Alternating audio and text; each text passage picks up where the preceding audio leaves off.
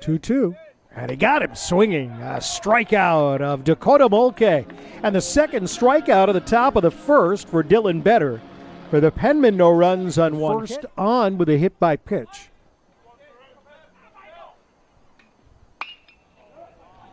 Ball is sky deep to left.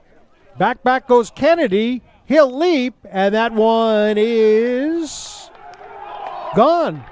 It's a home run for Mike Piero. First pitch to left field. Kennedy went back to the fence. And Piero has hit his second home run, and it is two to nothing Hawks.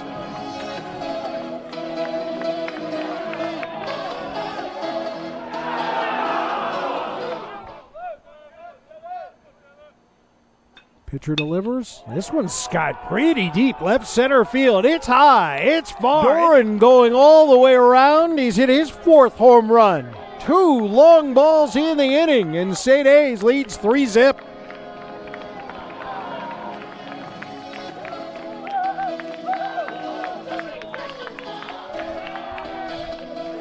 they're celebrating for sure. And that's right through Mulcahy's legs outside. It'll be a wild pitch. And that allows a run to score, and the Hawks are back within one, five to four. Maurice Morton.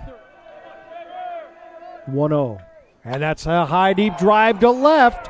Back goes Kennedy, turns around, and it's a tie ball game.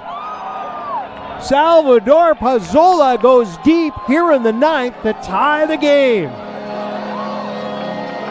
Wow, third home run of the day for the Hawks. For Pizzola, it's his first home run of the year.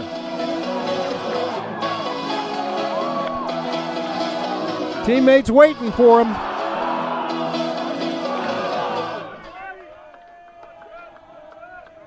Hannibal.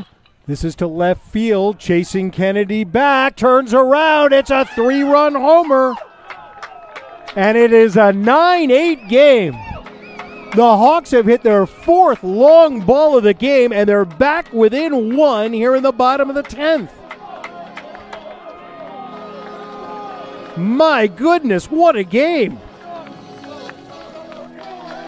Second home run of the year for Matt Collins, and the Hawks are still alive.